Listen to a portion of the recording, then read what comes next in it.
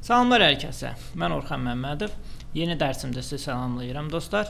Bugünkü dərsimizdə biz bir server əməliyyat sistemi yükləyəcəyik. Bir server əməliyyat sistemi install eləyəcəyik. Windows server, baxaq görək indi nə var bizdə? 2022 e, olmalıdır əslində. İndi ISO fayllara baxarıq. Bu arada ISO fayl nədir? İndi onun haqqında danışacağıq. Əməliyyat sistemini yazmaq üçün mən virtual proqramdan istifadə edəcəm. Bu proqram VMware Workstation adlanır. VMware Workstation-ın mən hal-hazırda istifadə edirəm 16-cı versiyasını. E, keçən dərsimizdə biz virtualizasiya haqqında danışmışdıq. Yəni dediyim kimi mən əməliyyat sistemini hal-hazırda virtual bir environmentda, virtual şəraitdə yaradacağam. E, çünki Yəni mən normalda gərək götürüm, normalda deməyək əslində mən ya gərək götürüm bu əməliyyat sisteminin öz əməliyyat sistemini format eləyəm və bu əməliyyat sistemi məndə artıq yararsız bir hala gələcək. Nə mənada? Bunun yerində server olmalıdır. Amma mən onun üçün virtualizasiya xidmətinin mənə təklif elədiyi variantlardan istifadə eləyirəm. Bu proqram vasitəsindən yeni bir virtual maşın yaradacağam. Virtual maşını yaratmaq üçün mənə lazım olacaq, deməli, e, bootable bir fayl lazım olmalı lazımdır mənə. Ya mən bir CD e, istəyirəm DVD drive tapmalıyam, DVD diski, hansının hansının ki içərisində Windows server əməliyyat sistemi olsun. Və yaxud da ki, indi bu dəqiqə həmin variant elə də populyar deyil. Hal-hazırda demək olar ki, mütəxəssislərin əksəriyyəti ISO fayllar istifadə edirlər. ISO fayllar həmin bu bootable olunmuş e, e, əməliyyat sistemlərinin DVD variantı yox, bir növ rəqəmsal variantıdır. İndi həmin ISO faylı necədir onu göstərəcəm. Əməliyyat sistemini yazmaq üçün mən öz hard diskimi istifadə eləməyəcəm. Mənim çünki hard diskimin özündə gördüyünüz kimi elə çox yer qalmayıbdı. Bu öz mənim əməliyyat sistemimin ana diskidir. 256-lıq SSD durur üzərində. SSD disk nədir? Az öncəki də videolarımızda bunun haqqında danışmışdıq. Bunun üçün mən istifadə eləyəcəm bir external drive. Belə bir Kingston belə bir SSD disk istifadə eləyəcəm 240 GB həcmində. Onun üçün mən bir dənə də belə bir boks almışam. Bu boks, yəni belə formalı İndi yəqin ki bilərsiniz. Bir dəqiqə göstərim. Belə bir formalı, bir tərəfi USB, o birisi tərəfi də buna qoşulmaq üçün lazım olandır. Mən e, SSD diski qoş ə, e, əlavə eləyirəm bu boksa. Bildiyiniz kimi burada yeri var. Burada görürsünüzsə əgər yeri var. Yəni saldım bura. Bunsuz da eləyə bilərsiniz əslində. Sadəcə bu daha səliqəli variantdır. Hə, ön hissəsini bağlayaq, zəhmət olmasa. Və Bu mənim A-da içərisində bir external drive-ımdır. Mən bu external drive-ı USB vasitəsilə qoşacağam öz kompüteruma və qoşandan sonra bizə dəqiqə Qoşandan sonra artıq məndə həmin SSD disk external drive kimi burada gəlib görsənəcək və mən artıq həmin bu SSD drive-ı istifadə eləyəcəm. Bu adda daxil olsaq, hətta görsəz bunun çəhrəsində müxtəlif fayllar var və s. Mən buradan daxil oluram soft folderına. Və bu soft folderında bax bu gördüyünüz dostlar ISO fayllarıdır. Müxtəlif serverin variantlarında. Mən bunları Microsoftun rəsmi səhifəsindən yükləmişəm. Yəni evaluation modda.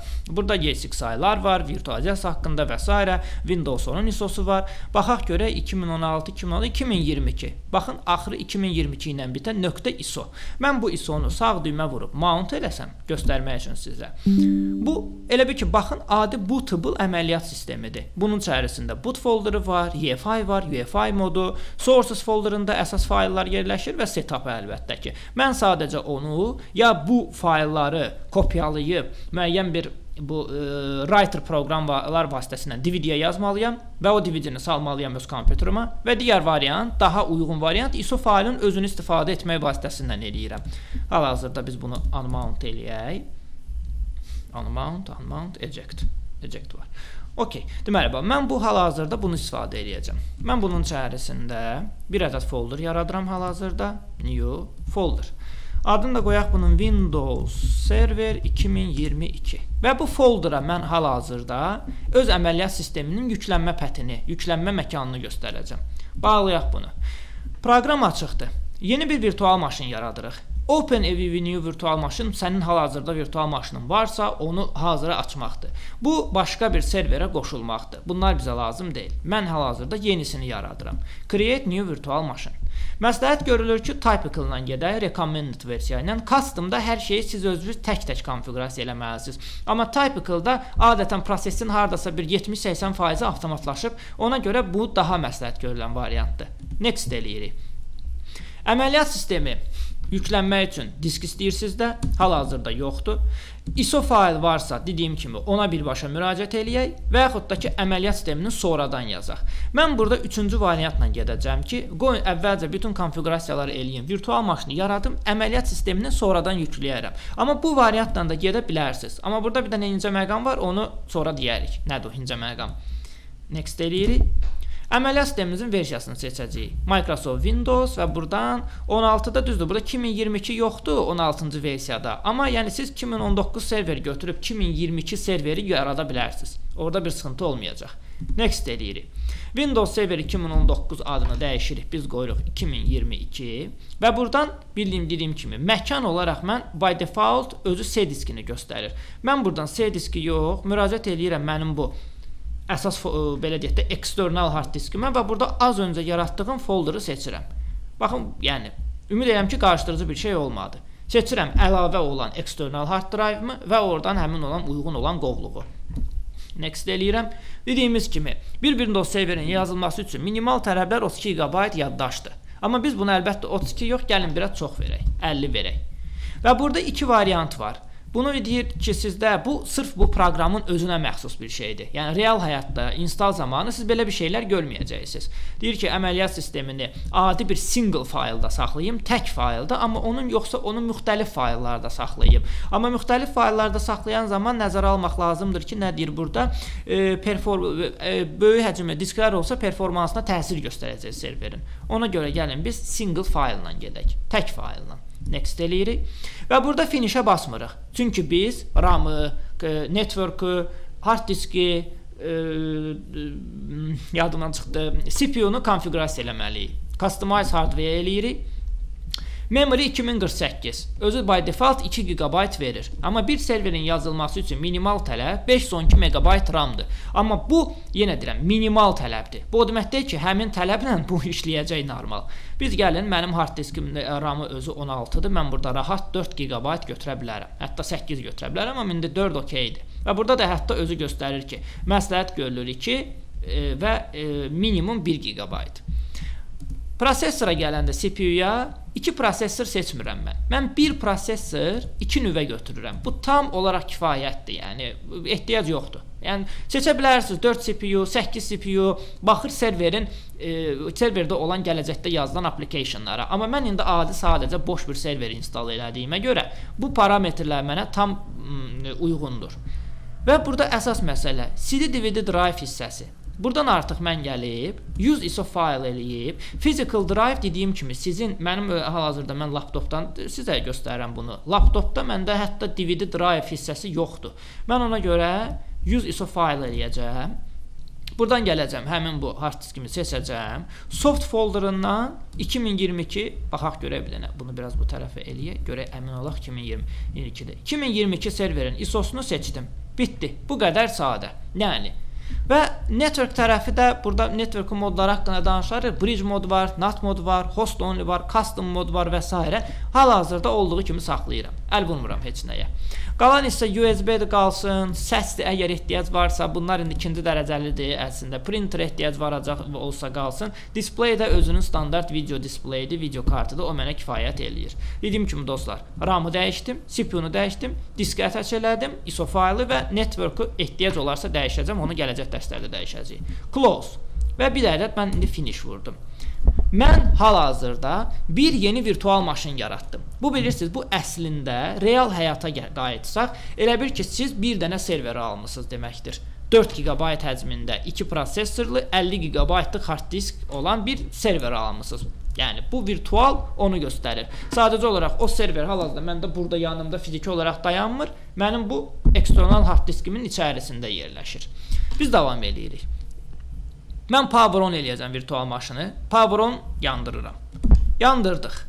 Yandıran zaman burada bə əlbəttə bəzi məlumatlar verəcək ki, və s. və s. Bunu sadəcə olaraq hint olduğuna görə close eləyə bilərəm. Və gələn növbəti pəncərədə mən ekranın içərisində mausu klikləyib istənilən düyməni basmalıyam. Yaxşı, yəni burada məsələn ekran mausun kursorunu ekrandan çölə çıxartmaq üçün Ctrl Alt basıram. Ctrl Alt fikir verdiniz, ekrandan çöldədir mənim kursorum. Mən klaviaturda istənilən hal-hazırda basıram. Düyməni bassam, klikləsəm heç bir e, dəyişiklik olmayacaq. Çünki əməliyyat hal-hazırda artıq sənin ana kompüterində baş verir. Olan əmrlər, nə hansısa bir əmr varsa. Ona görə mütləq şəkildə virtual maşının özünün içərisinə müdaxilə etmək üçün siz gərək indi bir dəqiqə gəlsin. Baxın mən hal-hazırda Düymə basıram, heç bir əməliyyat baş vermir. Mən gərək mausun içinə bura klikləyim, ondan sonra klaviaturda istənilən düyməni basım. Burada mausun kursoru hal-hazırda çıxardaq, davam eləyək. Next eləyirik.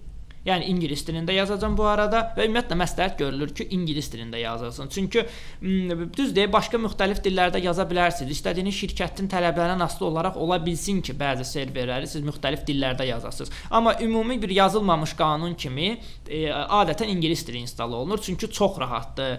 Kitablar, materiallar, terminlər əsasən ingilis dilində olduğuna görə ingilis dili yazmaq daha məqsədə uyğun sayılır. Install now eləyirik biz burada. Bu aşağıdakı layihəni hələlik yığışdıra bilərik. Onu sonra onun haqqında sonra danışacağıq. Hal-hazırda setup başlayır. Bir əməliyyat sisteminin yazılması setup prosesi adlanır. Burada sizə 4 variant təklif eləyəcək. Fikir versəz, gördüyünüz kimi arxitektura x64-dür. Yəni 64 bitlik platformadayıq biz. 32 bit bizdə gördüyünüz kimi yoxdur. Prosesor növləri haqqında danışmışdıq. 2 variant var. Standard evaluation və standard desktop experience, data center evaluation, data center desktop experience. Əgər siz desktop experience olmayan versiyaları yazsaz, onda sizdə serverin core variantı yazılacaq. Server core haqqında biz gələcək dərslərimizdə danışacağıq. Amma əvvəlki mövzularda mən bir balaca sözlə demişdim ki, server core qrafik interfeysi olmayan Windows server əməliyyat sistemidir. Amma mən hal-hazırda indi bir balaca ə, öncədən, yəni core core yazmayaq, çətinlik yaşaya bilərsiniz. Ona görə mən standart desktop experience variantından gedəcəm. Data center variantı da eyni istifadə edə bilərəm. Data center böyük şirkətlərdə tələb olunur. Harda ki, onların istifadəçi sayı həddindən artıq çoxdur, onların davamlı olaraq e, hesablaşmaları olur və s. olur. Serverin bu data center standart versiyaları haqqında növbəti dərsimdə daha ətraflı sizə izah eləyərəm ki, data centerdə hansı fərqlər var, standartda hansı fərqlər var. Amma böyük əksəriyyət infrastrukturlarda standart versiya tam olaraq kifayətdir. Və gördüyünüz kimi ev evaluation moddadır bu. Desktop experience. Evaluation mod yəni lisenziyasız moddadır. Next eləyirəm mən burada. Bu yazılan tələbləri, lisenziya e, tələblərini, agreementlərini, yəni belə oxuyuram və burdan bu tik işarəsində, bu qaliçka, bu tik işarəsini vururuq. Tik deyək biz ona. Next eləyirəm. Birinci versiya əməliyyat sisteminin upgrade olunmasıdır. Yəni hal-hazırda bizdə əməliyyat sistemi olmadığına görə biz heç onu upgrade eləyə bilməyəcəyik. Biz sıfırdan, yəni clean install eləyirik. Əvvəlki dərslərdə dediyim kimi. Ona görə mən custom seçəcəm və mənə hal-hazırda öz hard diskimi göstərir ki, sənin unallocated space 50 GB həcmində hard diskin var. Burada belə bir məsələ var. Bə, yəni olur ki, bəzən tələbələrim indi üzbəüz dərs keçən zaman birbaşa next-a next-a vurub davam eləyə bilərsiniz əslində. Yəni yazılacaq. Amma elə də olur ki, yazılmır, müəyyən müddətdən sonra xəta verir. Amma düzgün səliqəli variantı odur ki, siz bu hard diskdə əvvəlcə bir partition yaratmalısınız. Onu belə deyək də hazırlamalısınız. İnişalizasiya eləməlisiniz həmin hard diski. Onun üçün mən burada new düyməsini vuracağam. Deyir ki, sizə istəyirsiniz bütün 50 GB-ın hamısını istifadə eləyəsiniz, yoxsa müəyyən həcmini götürmək istəyirsiniz. Müəyyən həcm istəsəz siz ora tutaq ki, yaza bilərsiniz 40 min MB. Yəni 40 GB-ı götür, 10 GB qalsın mənə qırağa. Amma mən hal-hazırda bütün disk space-inin hamısını istifadə eləyəcəm. Apply eləyəcəm və OK basacağam. Yeni bir hard disk yaratdı, üzrdən partition yaratdı. Burada özünün sistemin default partitionu yarandı və bir də MBR üçün rezerv olunmuş 16 MB həcmində partition yaradır. Bunlarla sizin heç bir işiniz yoxdur. Bunlar burada olmalıdır. Bu sistemin özünün tələbləridir. Biz primary olan type hissəsi primary olan hissəyə baxırıq. Primary, yəni əsas disk. Və burada da daha bir nüans, yenə deyirəm, bunlar yazılmamış qanunlardır. Kitabda əslində belə bir yazmır belə bir şey. Mən sadəcə təcrübədən olaraq sizə deyirəm bu diski bir də format verin. Yəni bir məsləhət kimi bir də ola bilər yenə deyirəm, formatsız yazacaqsınız, hər şey okey olacaq. Amma məsləhət görülür ki, bu diski bir də format verin. Və bundan sonra biz next düyməsini sıxırıq. Bu qədər sadə. Yəni gördüyünüz kimi bir server əməliyyat sisteminin yazılması bu qədər sadədir. Hər şey o bizdə IT dilində söz var, next next next etdən ibarətdir. Vurduz, install olundu. Install olundu deyəndə install prosesi başladı. Bu proses də əməl üzr istəyirəm, sizin seçdiyiniz, istifadə etdiyiniz kompüterin performansından asılı olaraq dəyişə bilər. Yüksək performans versəz daha tez bitəcək proses. Daha aşağı performanslarda daha gec bitəcək. Məndə hardasa bir orta uyğun bir performanslı bir kompüterdir. Hardasa 3 dəqiqədən 5 dəqiqəyə qədər çəkə bilər. Videom bu qədər dostlar. Belə bir qısa video, bir server əməliyyat sisteminin install olunması. Gələn dərslərdə mən bir fiziki serverdə də serverin install olunmasını inşallah sizə göstərəcəm. Sağ olun, salamat qalın. Bu prosesi belə buraxaq. Müəyyən müddətdən sonra özü bitəcək. Növbəti dərsdə bu prosesdən davam bu proses bitəndən sonra davam